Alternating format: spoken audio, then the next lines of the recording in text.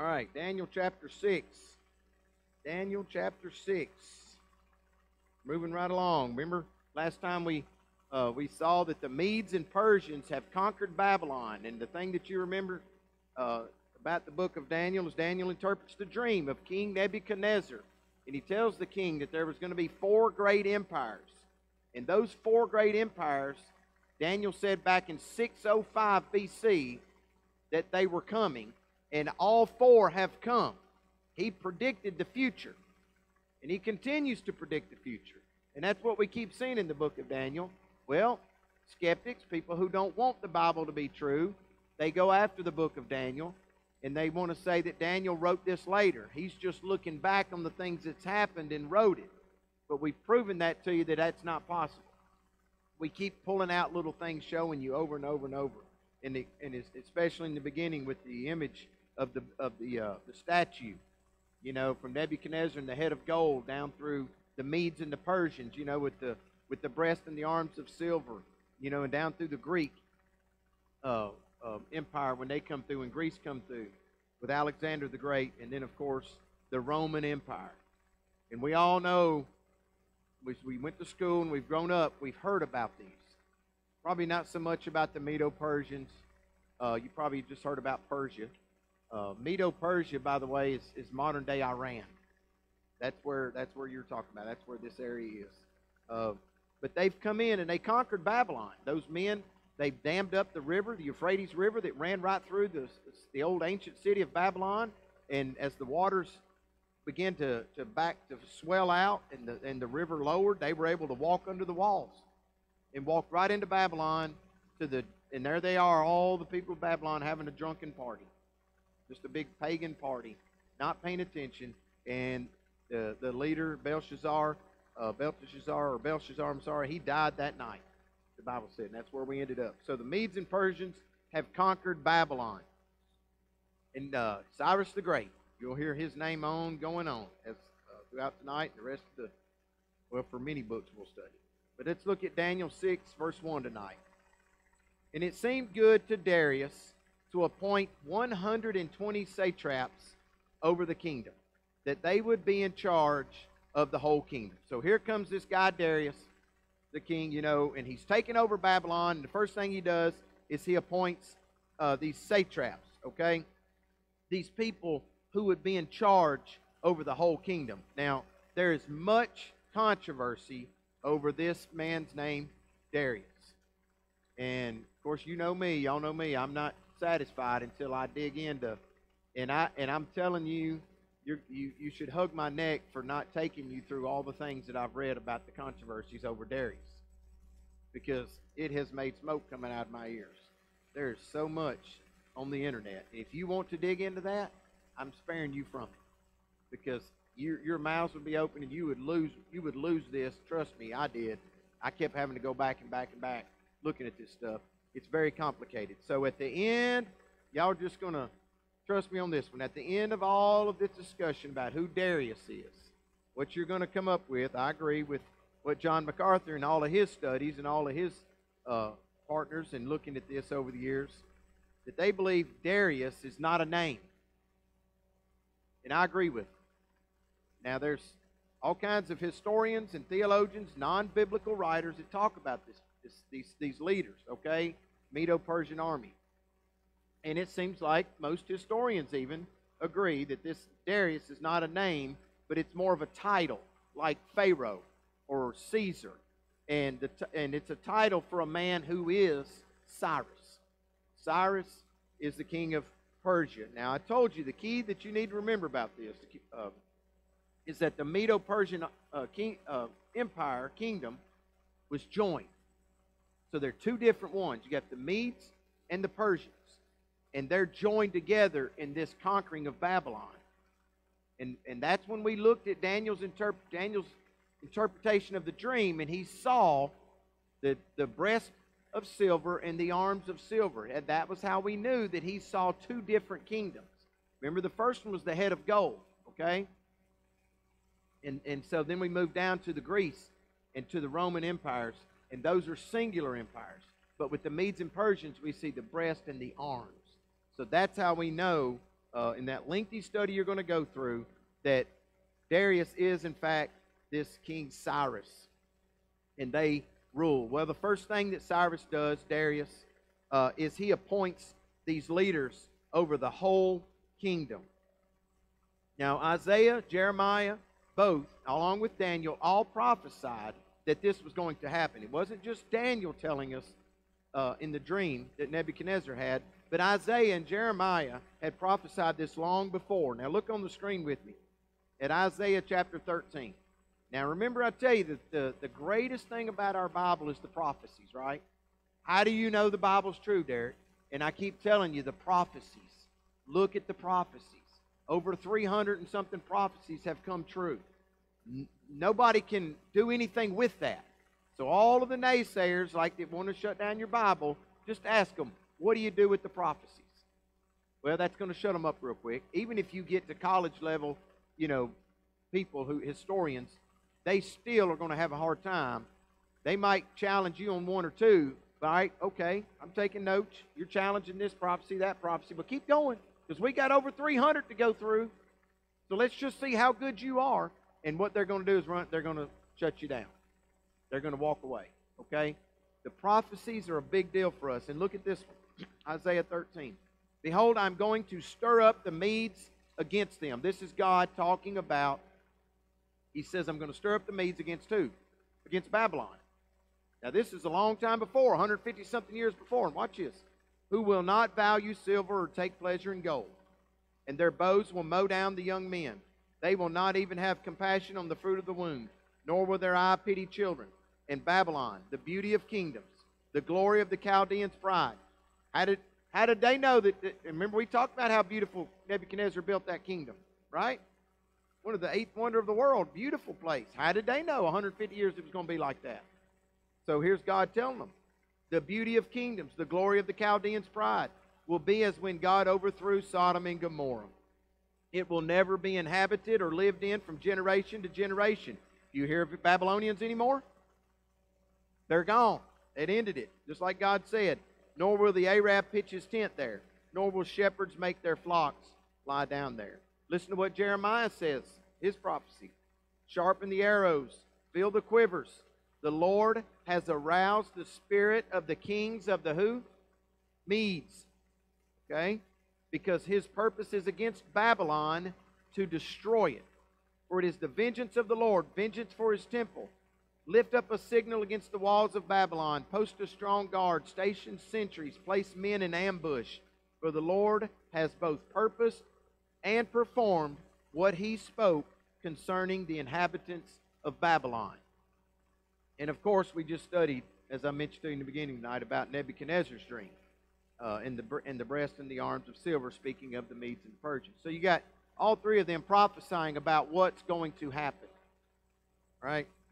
God also tells us who will be the name of this king of the Medes and Persians who will take over Babylon. Remember, 150 years before this man's ever born. Listen to this one. Look on the screen Isaiah 45 1. And y'all really need to highlight this one. You will use this one a lot. This is a big deal. Thus says the Lord to Cyrus, his anointed.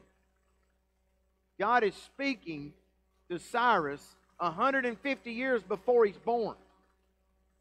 He's named him. Now, this is a pagan. This is not some woman and man who's growing up reading, reading the scriptures that's going to come in here and name their son Cyrus. God's telling you what his name's going to be. All right? It's a miracle. Whom I have taken by the right hand to subdue nations before him and to loose the loins of kings. To kings.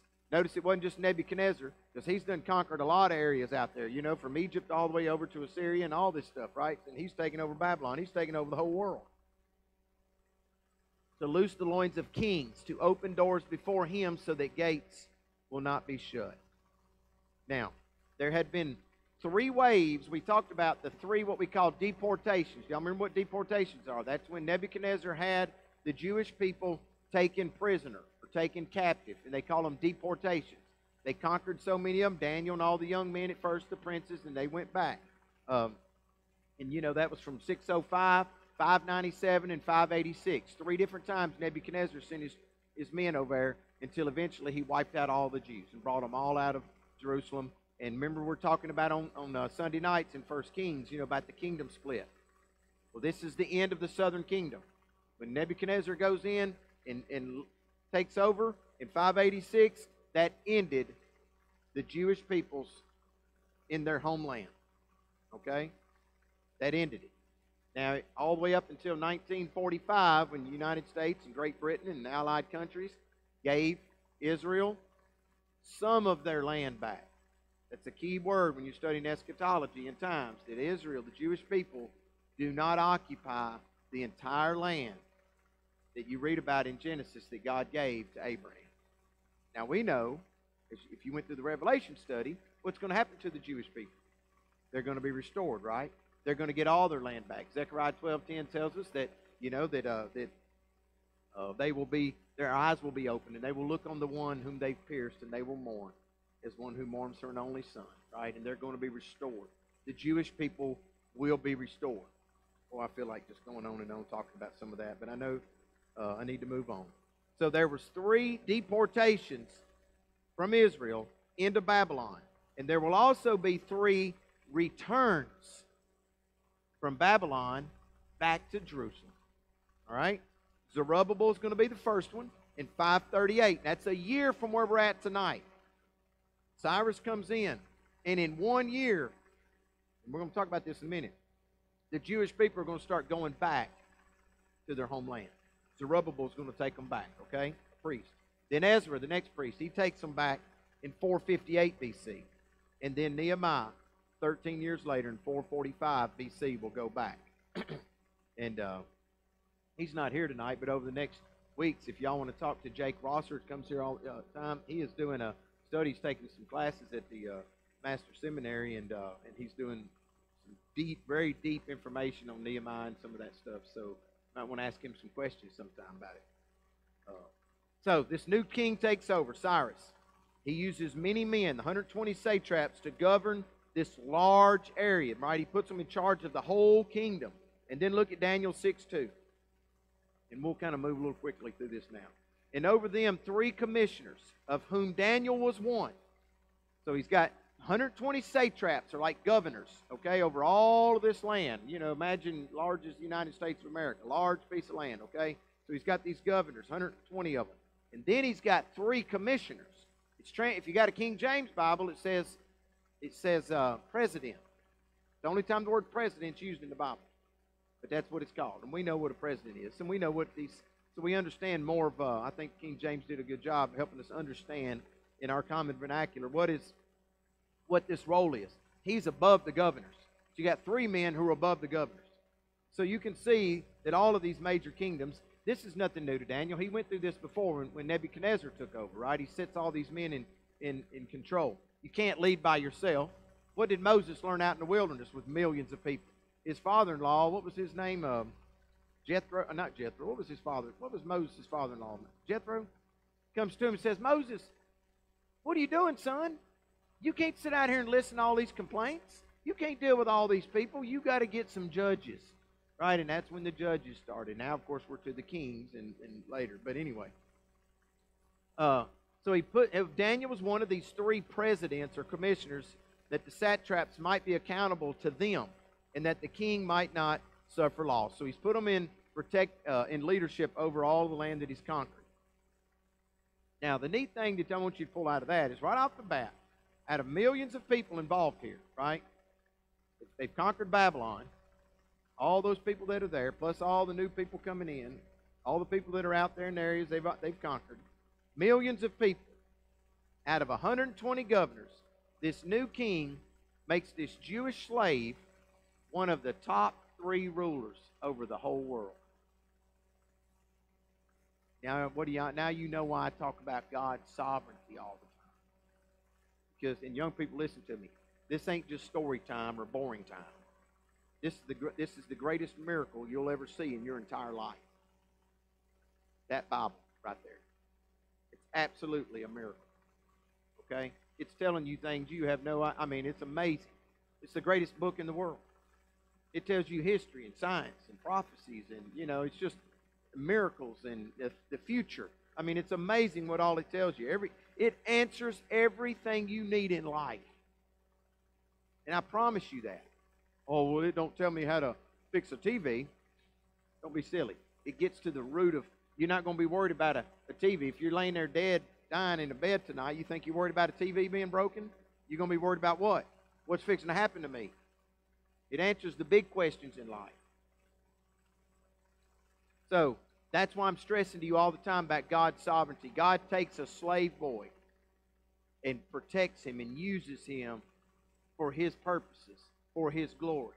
All of these 80 plus years of life that Daniel's lived now. It's absolutely amazing. Daniel should have been killed long ago. The first time as a teenager when he said, I will not defile myself, I'm not eating that stuff, King. I won't drink your wine and I won't eat your food. He should have been killed right then. But you see God's hand of protection over him. What's also a miracle is how does a young man decide to not compromise? From a young age. He didn't have his mom and daddy standing there breathing over his neck, did he? He didn't have his priest standing there, you know, keeping him out of trouble. He did it on his own. He decided, I will not compromise what I'm supposed to do. And we can look up to Daniel for that. Lo, Lord, I pray every day that I could have the, the strength that Daniel had. You know? And look at verse 3. Then this Daniel began distinguishing himself among the commissioners and satraps because he possessed an extraordinary spirit. What is that extraordinary spirit? Guess what? It's the same spirit you got. It's the Holy Spirit of God. And the king planned to appoint him over the entire kingdom. You know, I, I got to back up for a second because I think that just kind of slipped right over everybody. You have the Holy Spirit of God inside of you. Now, if I was charismatic, I'd be going nuts right now. Because that ought to be exciting to you. That ought to be super exciting to you. That, that's when I was telling you Sunday morning about you ought to be in here in this church building with a big old smile on your face. What have you got to worry about?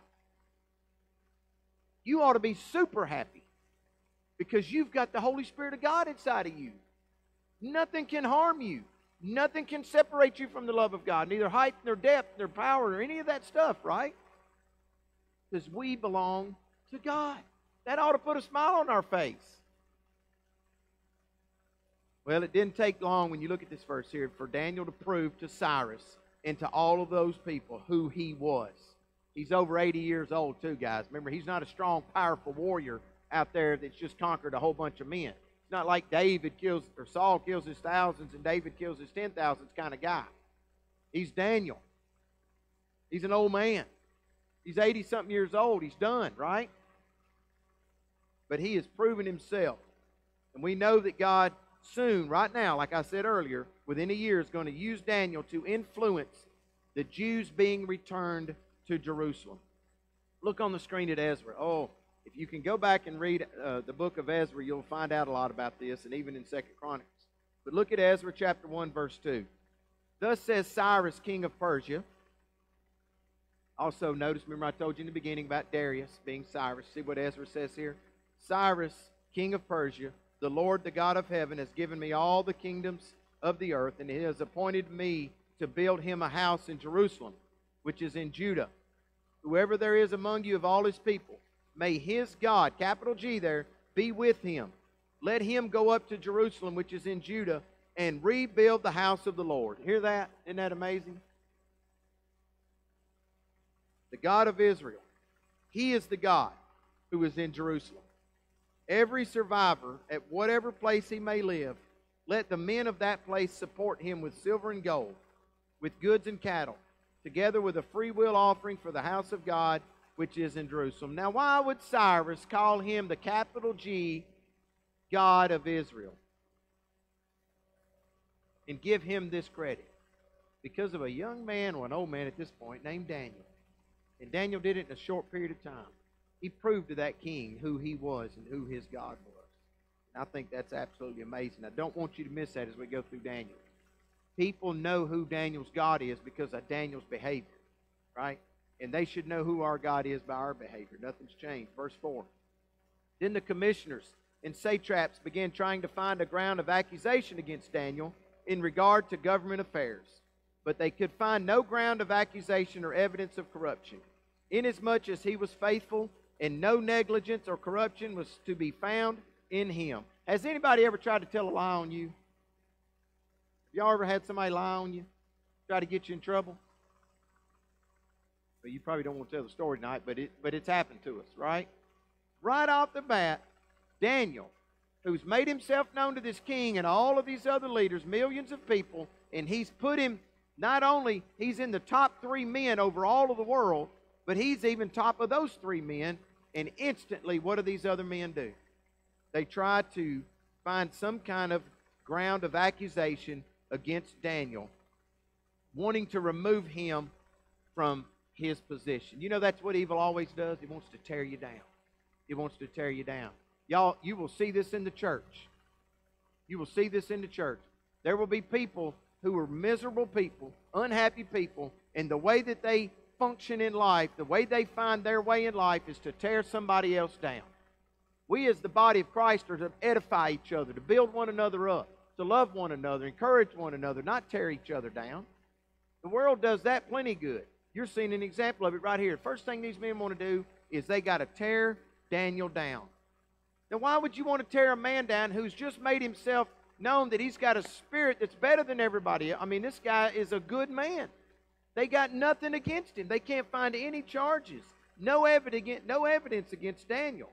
And I want you to also remember here that Daniel has many observers. It ain't like he's some monk living up in the hill that only two or three people see a year. He's had millions of people to observe who Daniel is, and these leaders have no accusation against him. Well, that, that I mean, wouldn't that be amazing if they could say that against uh, uh, about us? You know, when people try to slander you, and, and, and they're trying to gossip about you or tear you down, well, he's never done. And, and, and the person they're talking to says, "No, no, no, no, no, no, no. You stop right there. You that ain't what you can't say that about them. That's not true." Wouldn't that be nice to have somebody to back you up like that?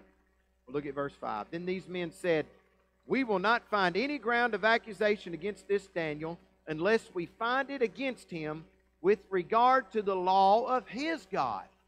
Well, now their wheels are spinning. We can't find anything wrong with him, but maybe in the relation to his God, maybe we can find he's doing something wrong there. Okay? Because most of us know what? We're always doing something wrong. Those, those guys know, Daniel knows, the Apostle Paul knew, and I know today that there's that I'm not always doing what I'm supposed to be doing, right? Now, I know you ladies don't understand that, but that's just the life we you know that we live in in this world. We don't always do what we're supposed to be doing because we're in the flesh and we're weak, right?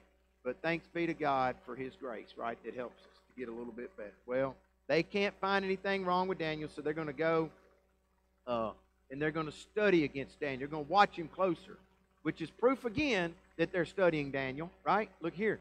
We got to go study him. We got to go find what he's doing. We got to get some, uh, what do they use today? The uh, private investigators, right? I, was, I started thinking of the old song, Private Eyes. Remember that old song? Private Eyes. They got to go watch him. They know about this guy's God. Dude, they said there, we got to get him in regard to the law of his God. They've heard about his God. They know it ain't the same gods they got, right?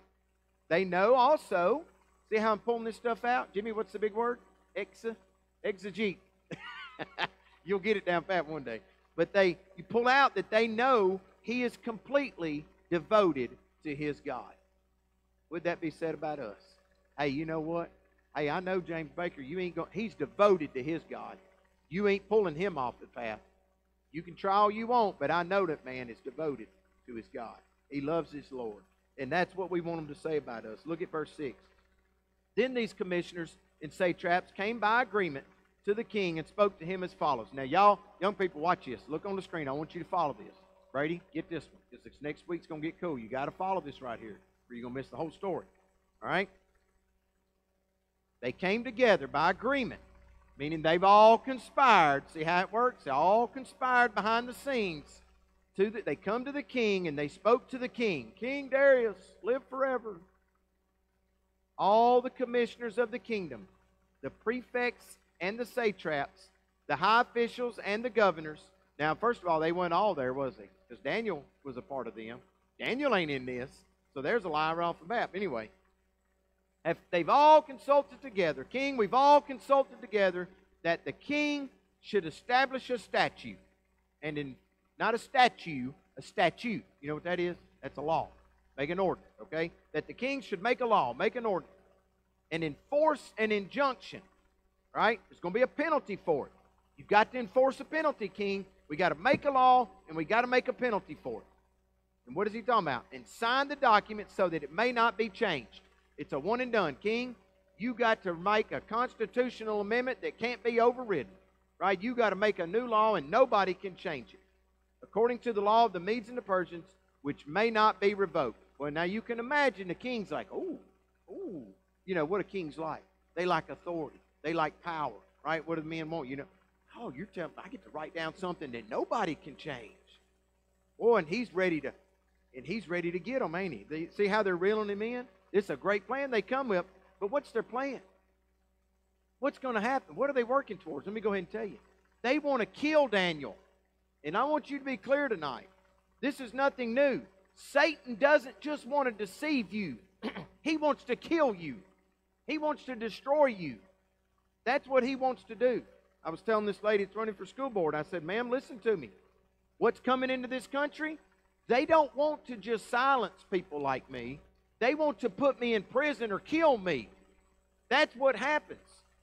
That look what happened in Canada. They're already putting men in prison because they're standing up for what God's word says. Don't stand there and tell me, oh, it won't happen here. Yes, it will. It's happened in for the past several centuries. You remember what happened to Tyndale that tried to take the Bible into English so every little farm boy, every little you know farmer could read the Bible? Wycliffe and those guys, they burned them at the stake. Don't tell me it won't happen out there today. You go look at these videos and the hate that they have for Christianity. God's restraint over them. So don't tell me Satan just wants to deceive you. He wants to kill you. And here's an example of it back then. They don't want to just get Daniel in trouble and get him kicked off of the leadership. They want to kill Daniel. All right? Now watch 9. Therefore, King Darius signed the document, the injunction. Now, when Daniel knew that the document was signed, he entered his house. And it says, Now in his roof chamber, he had windows open toward Jerusalem. Isn't that something? God gave him a window looking home. I thought that was neat. Just little things the Holy Spirit puts in there. He Daniel knows what's coming for him. Here I am, Lord. I've been here faithful to you 80 something years. All these men are conspiring against me to kill me. And he goes up to his room. He opens his window and he's looking home. And what does it say he does? And he continued kneeling on his knees. How often do you pray? I got thinking about that when I was studying. How often do I pray on my knees? Nothing says you have to. No law says you have to. But I remember um, Charles Stanley giving a sermon years ago, um, and I was sitting at my house and I was uh, listening to this sermon, and he started talking about feeling convicted over not getting down on his knees. And he so he went by his bed, and he got down on his knees, and he said, "Man, I'm old man, you know, my knees kind of hurt." And he got down on his knees, and he said he started praying. Next thing he knows, he was flat out prostrate on the ground, pouring his eyes out to God. And I thought, see, that's that's good, you know. Well, Daniel gets on his knees, and he says three times a day. Three times. Where does that come from? Look on the screen. This is what Daniel's known all his life. It's what David says. Look what David says in Psalm 55. He said, As for me, I shall call upon God, and the Lord will save me. Evening and morning and at noon, I will complain and murmur, and he will hear my voice. Well, I love that. Don't ever doubt that God don't hear your prayers. Because you don't get what you think you want or deserve or whatever, don't mean God don't hear right? And Daniel knew. Daniel knew what David had taught him. And Daniel says he's on his knees three times a day, praying and giving thanks before his God as he had been doing previously. Now, notice the Holy Spirit put in there. He's not praying, Lord, get me out of this mess. Now, he might have been. I'm not saying he's not. But look what he adds there and giving thanks. You know these men are conspiring to kill you, and you're giving thanks to God. Is that something you really want to give thanks to? Thank you, Lord, that they're about to kill me. Well, look at verse 11. Then these men came by agreement and found Daniel making petition and supplication before his God. Then they approached and spoke before the king about the king's injunction. Here they come. They set him up. They've set Daniel up. Okay? Remember, y'all remember what they said in the document. Go back to verse 7. Put 7 back up there, Miss Pat. That anyone who makes a petition to any god or man, y'all see that? Besides you, O king, for 30 days shall be cast into the lion's den. That's the plan. So they approached the king. The king signed it. This is the deal. King, if anybody goes to any other god or any other man besides you, then you got to put them in the lines with the lions for 30 days.